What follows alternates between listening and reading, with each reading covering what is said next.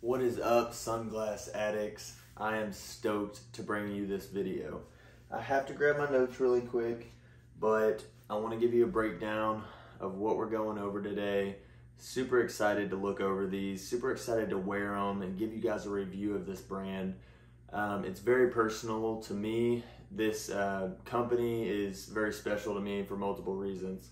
I do want to start off by giving a shout out to um, my friend our, and family friend, Marty and Tracy Leet.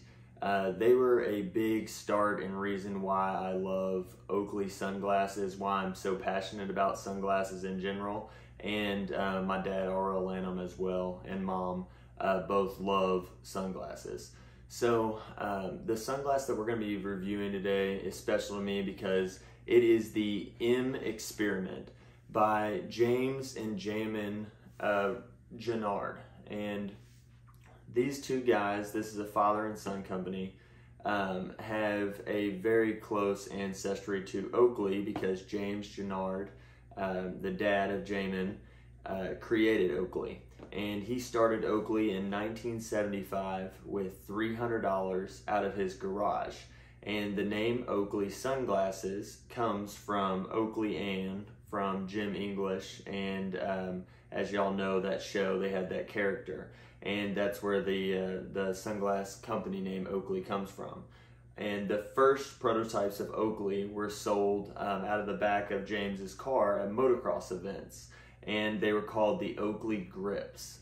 So um, those were some of the first Oakleys ever made, and then obviously came the Razor Blades, which was just a huge, um, huge groundbreaking sunglass that really took over the market. Um, Oakley's obviously had its ups and downs over the years, but now it is safe to say that they are here to stay and they're a household name in the sunglass industry and just a sunglass company that is known for being extremely reliable and um, great customer service and also tons of stylish stuff that never gets old. They make timeless designs. There's people who are wearing Oakleys today that they bought 10 or 15 years ago that still look amazing. That just says a lot for the company. I would compare Oakley to Porsche or something like that where they just make something that forever looks amazing and forever last. And that's very hard to do um, as a company, and it's very hard to stand out as a sunglass company, which is a very saturated market.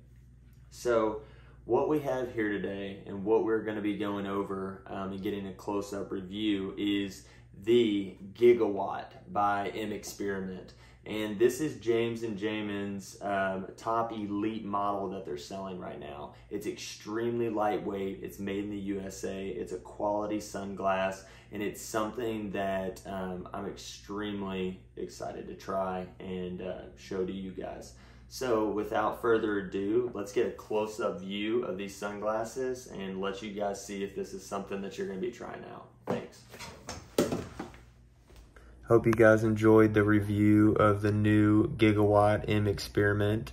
It would mean the world to me if you could subscribe and like this video. Thanks. Have a good one.